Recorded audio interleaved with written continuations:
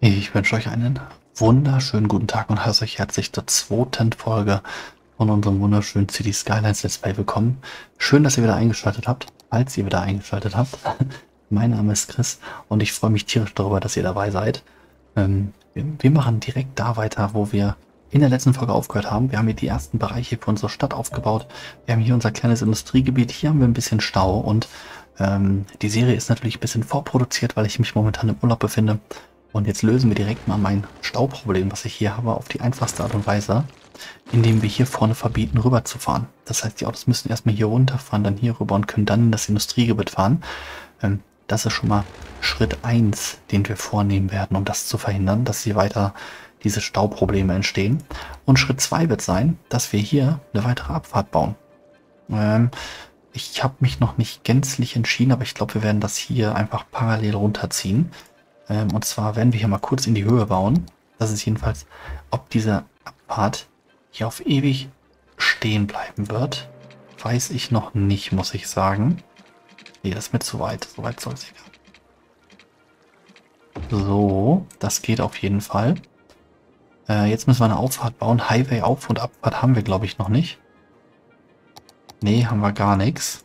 Äh, das heißt, wir brauchen hier mal kurz die ähm, Einbahnstraßen. Das ist, glaube ich, zu... Nee, das ist zu kurz. Okay, das würde gehen. Dann gehen wir hier. Na, müssen wir ein Stück weiter weg. Dann gehen wir hier hin, das passt auch. Ähm, dann machen wir das so und dann fahren wir so. Nee, das ist nicht symmetrisch, müssen wir eins weiter. Wenigstens versuchen, das ein bisschen ordentlich hinzubekommen. So sieht's doch, das sieht doch gar nicht mal schlecht aus. Haben wir jetzt mal hier mit drei, vier Klicks ähm, eine schöne zweite Abfahrt kreiert, die wir jetzt hier einfach runterziehen. Und dann einfach hier weiter an die Straße ranfahren. Sehr gut. Und jetzt haben wir die Möglichkeit geschaffen, den Highway hier auch schon zu verlassen und in das Industriegebiet reinzukommen. Ähm, hier ist bewusst hier keine Verbindung geschaffen. Ob das später noch kommen wird, sei jetzt mal dahingestellt. Fürs erste will ich das aber nicht. Und die ersten Fahrzeuge nutzen auch schon direkt ähm, die neuen Ein- und Ausgänge. Und das dürfte unsere Hauptstraße hier auf jeden Fall auch sehr stark entlasten. Wenn wir jetzt an die weitere Planung unserer Stadt denken, ähm, abgesehen davon, dass wir viel mehr Wohngebiete brauchen, die wir gleich hier hinten einfach weiter ausbauen werden, ähm, müssen wir natürlich auch an Hauptverkehrsstraßen denken. Wir haben jetzt hier unsere zwei Einbahnstraßen die auch weiter so ein bisschen den Kern unserer Stadt erstmal ausmachen werden. Dann hier ähm, irgendwo in einem Kreisel enden werden, vielleicht auch erst hier. Und dann wird es einen Turn nach rechts geben in unseren Standbereich und einen Turn nach links geben. Ähm, und dann müssen wir mal gucken, dass wir das alles irgendwie vernünftig verteilen können. Ich hätte auch gerne irgendwie so einen Highway, der vielleicht dann durch die Stadt durchgeht. Das müssen wir uns alles dann mal in Zukunft anschauen. Und jetzt haben wir schon wieder vier Minuten gequasselt und nur eine kleine Straße gebaut. Ähm, das heißt, wir müssen uns mal ganz kurz hier um ein paar Sachen für unsere Stadt kümmern, damit wir hier ein bisschen weiter vor, vorwärts kommen. Ähm, so, machen noch einmal so einen Turn mit 400 hier rein. Einfach, weil wir hier eine Straße haben. Und ich verhindern möchte, dass wir ähm, zu viele Abschnitte hier auf diese Hauptstraße bringen. Das würde ich wirklich gerne verhindern, dass wir hier nicht so Verkehrsprobleme bekommen am Ende des Tages. Und jetzt erhöhen wir die Einwohnerzahl hier erstmal signifikant. Ah, okay, müssen wir gucken, ob wir das nachher abreißen. So, das können wir hier hinten rüberziehen, verbinden. Vielleicht machen wir hier auch mal einen größeren Abschnitt rein, warum nicht? Ähm, jetzt untertunneln wir das Ganze mal mit unseren Wasserrohren bleiben unserem Motto treu, dass wir immer unter den Straßen bleiben. Oder auf jeden Fall so gut es geht, immer unter den Straßen bleiben. So, und dann noch einmal hier runter. Wasser passt auch noch. Also das ist alles im grünen Bereich. Müssen wir uns nicht stressen. Ähm, und jetzt können wir hier auch erstmal weitere kommerzielle Bereiche definieren. Und direkt dahinter dann unsere Behausungen. Immer mal wieder mit mit kleineren Ladenbereichen dazwischen. Wäre ja immerhin in der echten Stadt auch so, dass man auch überall so ein bisschen einkaufen kann. Und jetzt steigt auch schon wieder der Bedarf an Industrie- und Bürogebieten an. Und ich würde dieses Industriegebiet gar nicht zu groß werden lassen. Also geringfügig werden wir es auf jeden Fall noch erweitern. Das werden wir auf jeden Fall machen. Noch ein klein bisschen größer können wir es machen. Ähm, aber irgendwann sind wir dann auch an einem Punkt angekommen, an dem ich gerne ähm, in andere Industriegebiete investieren würde. Und das zeige ich euch jetzt gleich. So, das verbinden wir hier noch. Auch das wird entsprechend mit Wasser versorgt. Super. Und in Teilen schon mal freigegeben. Ähm, und zwar bringt mir dieses Industriegebiet nicht so viel, abgesehen von sehr viel Verschmutzung. Ähm, ist jetzt nicht so ästhetisch ähm, und bringt vielleicht auch nicht so unendlich viel Geld. Und jetzt haben wir hier den großen Vorteil, dass wir hier ähm, Agrarfläche haben. Und das wird dann auch aller Wahrscheinlichkeit nach unser erstes großes Industriegebiet werden, wo wir dann ähm, Ackerbau betreiben werden und hoffentlich auch viel Geld verdienen werden. Müssen wir mal gucken, ob wir das am Ende des Tages hinbekommen. Äh, wir haben ja doch schon einiges inzwischen freigeschaltet. Hier ist unser großer Park. Müssen aufpassen, dass wir die Funktionsgebäude nicht zu unpassend aufbauen, dass wir immer die Kontrolle über unsere Stadt irgendwie so ein bisschen behalten und ähm, nachher die Straßen ausbauen können, weil ich mir gut vorstellen kann, dass diese Straße hier ähm, eine weitere wichtige Kernstraße wird, ähm, auf der viel Verkehr danach sich bewegen wird. Wir haben ja immerhin diese Schnellstra Schnellstraßen, wir haben diese Einbahnstraßen hier und dann wird das mit Sicherheit auch eine wichtige Straße werden, zumal diese auch genau die Schnittstelle sein wird zwischen unserem unserer Farmbereich und unserer Stadt. Ähm, wenn wir hier die Farm aufbauen, brauchen wir auf jeden Fall eine weitere Autobahn Auf- oder Abfahrt, ähm, weil wir sonst super viel Verkehr hier in die Stadt reinziehen und da müssen wir aufpassen, das will ich nicht unbedingt. So, jetzt müssen wir mal kurz gucken. Okay. Hier wird alles fleißig gebaut, wunderbar. Wir brauchen weitere Schulen, wollt ihr? Wie sieht es eigentlich mit den ganzen Versorgungen aus? Strom passt und Wasser passt auch. So, Gesundheit habe ich, Feuerwehr habe ich, Polizei habe ich, Feuerwehr ist mittlere Gefahr, da bräuchten wir vielleicht bald noch eine zweite. Und dann brauchen wir bald eine Oberschule, damit wir den, den Bildungsstand unserer, unserer Einwohner erhöhen können. Was die Bildung angeht, ist nämlich wichtig zu wissen, dass Hochgebildete alle Jobs einnehmen können, Ungebildete aber nicht. Also das ist, wenn man, wenn man richtig schlau ist, kann man auch auf der Straße arbeiten. Aber wenn man irgendwie keine hochwertige akademische Ausbildung hat, kann man nicht in irgendwelchen komplexen Bürotätigkeiten eingesetzt werden in diesem Game. Ähm, das funktioniert nicht. Ähm, es dauert dann zwar immer so ein bisschen, bis die Jobs gefüllt werden, wenn man nicht die richtigen Arbeitskräfte hat.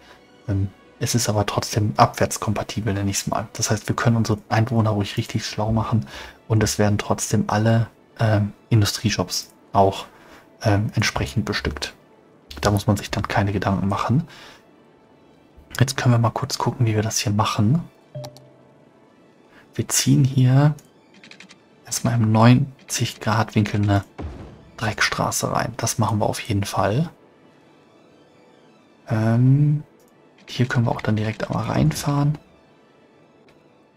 Und dann müssen wir zusehen, dass wir hier eine Möglichkeit geben. Können wir die Straße vielleicht gleich sogar schon upgraden? Ich glaube, das machen wir sogar mal. Schauen wir mal, was wir hier zur Auswahl haben. Industriestraße. Ah, wir haben erst die, die ganzen Straßen haben wir noch nicht, ne? Nee. Das wäre too much.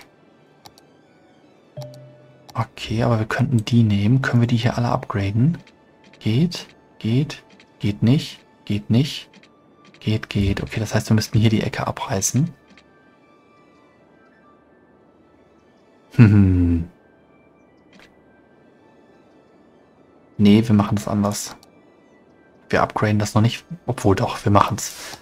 Wir machen es und reißen die eine Ecke hier kurz einmal ab. Da können wir nicht upgraden. Das heißt, wir müssen hier mal ganz kurz, mal kurz pausieren. Weg damit, weg damit, weg damit. Jetzt nehmen wir die Straße, machen eine Kurve rein, haben die Straße wieder fertig. So, wo ist meine Dreckstraße? Hier, die ziehen wir wieder runter. So, und jetzt bestücken wir die Sachen hier wieder. Okay, super. Sehr schön. Und jetzt haben wir das. Jetzt haben wir hier schon mal die etwas breitere Straße breit getreten, damit wir im späteren Verlauf nicht das Problem haben, dass wir hier nicht upgraden können und den Verkehr nicht mehr handeln können. Ich glaube, dass das keine schlechte Idee ist. Und wenn es nach mir geht, würde ich, glaube ich, sogar schon die Straße einfach durch upgraden, dass wir das schon mal so weit haben. Weil ich kenne mich, ich vergesse das nachher wieder und jetzt erkennt man schon so ein bisschen den Hauptverkehrsfluss. Man kann sich natürlich überlegen, ob man das auf der anderen Seite jetzt auch macht und dann vielleicht früher oder später doch hier eine Verbindung schafft. Das wollen wir zum jetzigen Zeitpunkt aber noch nicht machen, ähm, weil ich da nicht zu sehr ähm, mich zum Opfer des Verkehrs machen möchte. Jetzt brauchen wir ein Industriegebiet auf jeden Fall. Es hier, hier, hier. So haben wir das. Jetzt können wir gleich noch einen Viertel drüber legen und zwar aus folgendem Grund. Ähm, das, was ich als erstes gebaut habe, ist das Industriegebiet, welches man mit dem City Skylines Industries oder heißt es glaube ich Industries ähm, DLCs hier hinsetzen kann, indem ich jetzt hier quasi dieses, dieses Hauptfarmgebäude hinsetze, erkläre ich dieses Industriegebiet hier zum Industriegebiet für Farme. Jetzt habe ich auch direkt die ersten Felder bekommen. Ähm, und jetzt habe ich hier natürlich diesen, äh, diese Zone noch drüber gelegt, die wir für die Stadtviertel hier auch benutzt haben. Und jetzt definiere ich das Gebiet hier auch noch als Farmgebiet. Und jetzt habe ich den Vorteil, dass ich hier zum einen, ich pausiere mal kurz, die Gebäude aus dem Industrie-DLC reinsetzen kann. Und ich kann das Ding auch als Industriefläche definieren und dann wachsen, dann entstehen hier auch Farmen, sodass das alles ein bisschen, ich sage mal, authentischer aussieht. Ähm, das wollen wir am Ende des Tages ja auch haben. Jetzt können wir hier mal kurz Wasser schon mal hinziehen und müssen mal ganz kurz ähm, einen Ansatzpunkt für Strom hier rüberziehen. Das können wir nachher natürlich alles auch wieder ein bisschen verringern ähm, und anpassen. Ähm, wir brauchen es aber fürs Erste erstmal, solange das hier alles noch nicht vernünftig zusammengewachsen ist. Gut, haben wir das. Genau, hier wächst weiter unsere Stadt. Hier können wir nochmal direkt einen Block für Einwohner freigeben. Ähm, und dann sollte das auch alles ganz gut aussehen, glaube ich.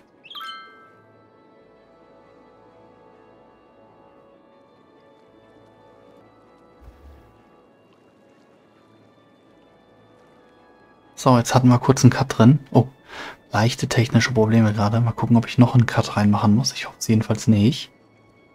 Okay, scheint, glaube ich, wieder zu gehen. Äh, auf jeden Fall können wir das dann hier einheitlicher machen. Sorry für die leichten Verwirrungen hier in Folge 2. Ähm, und jetzt werden wir hier mal die ersten Gebäude einsetzen, weil dieses, diese Obstplantage, so wie sie aktuell noch heißt, ähm, will natürlich gelevelt werden. Und das können wir machen, indem wir hier erstens Rohstoffeinheiten produzieren und Arbeiter hier beschäftigen. Aktuell können wir hier bis zu 50 Arbeiter beschäftigen. Die sind alle hier in unserem Hauptgebäude beschäftigt. Und jetzt gilt es ähm, entsprechend... Oh, nächster Meilenstein, den gucken wir uns gleich an. Und jetzt geht es darum, hier Arbeitsfläche zu schaffen. Ähm, und das machen wir jetzt mal, indem wir hier die, ersten, ich sag mal, fünf Felder direkt mal hinsetzen. Äh, ich hätte die gerne alle gleich, dass es schön aussieht wie ein riesengroßes Feld. Weizen, Weizen, Weizen. Und ich glaube, das letzte wird ein Treibhaus. Das sieht ganz gut aus. Ähm, und jetzt sieht man direkt hier, dass wir jetzt nicht mehr 50, sondern in der Lage sind, 150 Arbeiter zu beschäftigen, ähm, weil wir entsprechend die Felder angelegt haben. Jetzt können wir noch mal kurz gucken, wie breit die Felder hier sind. So, 1, 2, 3, 4, 5, 6, 7, 8. 1, 2, 3, 4, 5, 6, 7, 8. Und jetzt können wir wenn ich das Richtige habe. 1, 2, 3, 4, 5, 6, 7, 8. Das heißt, wenn wir hier hochfahren, hoffe ich, dass ich mich jetzt nicht verrechnet habe. Wunderbar. Können wir da auf die andere Seite auch Felder setzen, ja, die übrigens gar nicht mal so billig sind, mit 4000. Und hier ein riesengroßes Getreidefeld erzeugen. Und das machen wir jetzt auch. Das sieht doch wunderprächtig aus. Gefällt mir sehr schön. Und hier ziehen jetzt die Arbeiter hin. Hier wird Getreide erzeugt und damit können wir dann im Ende mit Import, Export und mit der Herstellung von weiteren Fahrern auch viel Geld verdienen. Ähm, also alles wirklich eine coole Sache und bietet auch viele Möglichkeiten. Und das Ganze gibt es dann für viele verschiedene Bereiche auch noch, auch für Erz, Öl ähm, und für Forstindustrie. Forstindustrie ist übrigens das einzige, was man selbst erschaffen kann, indem man hier Bäume hinmalt. Ähm, ganz wichtig, ganz wichtig zu, zu erwähnen. Also wirklich eine coole Sache. Ähm, leider glaube ich, dass ich meine technischen Probleme heute irgendwie nicht in den Griff bekomme. Ähm, tut mir wirklich, wirklich sehr leid. Ich habe gerade ein paar Bugs mit meinem Aufnahmetool und ich möchte ungerne die Fortschritte der zweiten Folge jetzt zum Fenster rauswerfen. Das heißt, ähm, ich würde für heute die Folge wirklich bei 16 Minuten schon beenden und in der nächsten Folge dann leider erst weitermachen. Tut mir wirklich sehr leid, dass es heute ein bisschen kürzer zu Ende war. Ich muss mal gucken, ob man die Folge vernünftig benutzen kann oder ob wir hier auch technische Probleme dann beim Aufnahme hatten. Ich hoffe es jedenfalls nicht ähm, und wünsche euch bis dahin erstmal einen wunderschönen Tag. Bis dahin alles Gute. Ciao.